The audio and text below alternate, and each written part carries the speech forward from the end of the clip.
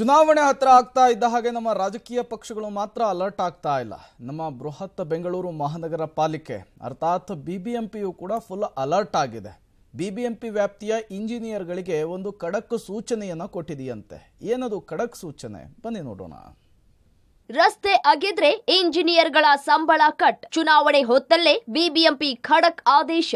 ಬೆಂಗಳೂರಿನಂತಹ ಮಹಾನಗರದಲ್ಲಿ BBMP ಎಡವಟ್ಟು ಮತ್ತು ಕಳಪೆ ಕಾಮಗಾರಿಗಳಿಂದ ಜನ ನರಕ ಅನುಭವಿಸ್ತಾ ಇದ್ದಾರೆ. ಅದರಲ್ಲಿ ರಸ್ತೆ ಗುಂಡಿ ಮತ್ತು ರಸ್ತೆ ಅಗೆತ ದೊಡ್ಡ ಸಮಸ್ಯೆ ಆಗಿ ಪರಿಣಮಿಸ್ತಾ ಇದೆ. ಇದರ ವಿರುದ್ಧ ಸರ್ಕಾರಕ್ಕೆ ಜನ ಚೀಮಾರಿ ಹಾಕ್ತಾ ಇದ್ದು, ಜನಪ್ರತಿನಿಧಿಗಳ ವಿರುದ್ಧ ಆಕ್ರೋಶ ಹೊರಹಾಕ್ತಾ ಇದ್ದಾರೆ. ಹೀಗಾಗಿ ಚುನಾವಣೆ ಹೊತ್ತಲ್ಲಿ ರಸ್ತೆಗಳು ಚೆನ್ನಾಗಿರಬೇಕು ಅಂತ ಬಿಬಿಎಂಪಿ ಒಂದು ಆದೇಶ ಮಾಡಿದೆ.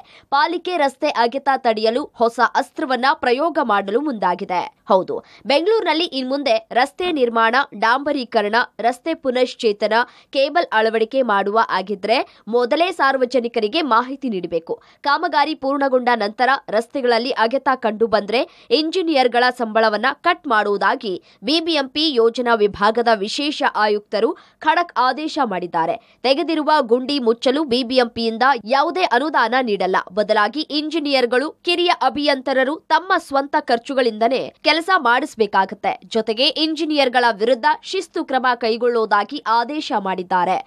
ಒಟ್ಟಾರೆ, ಚುನಾವಣೆ ಹೊತ್ತಲ್ಲೇ ಬಿಬಿಎಂಪಿ ವ್ಯಾಪ್ತಿಯ ರಸ್ತೆಗಳು ಚೆನ್ನಾಗಿರಬೇಕು ಅಂತ ಇಂತಹ ಖಡಕ್ ಆದೇಶ ಬಂದಿದೆ. ಈ ಆದೇಶ ಪಾಲನೆ ಆಗುತ್ತಾ? ರಸ್ತೆಗಳು ಅಗೆತ ಆಗದೆ ಇಂಜಿನಿಯರ್ಗಳು ಅವುಗಳನ್ನ ನಿಯಂತ್ರಣ ಮಾಡುವುದಕ್ಕೆ ಮುಂದಾಗ್ತಾರಾ? ಕಾದ್ ನೋಡ್ಬೇಕಿದೆ. Lokesh Kodagadala, public TV, Bengaluru.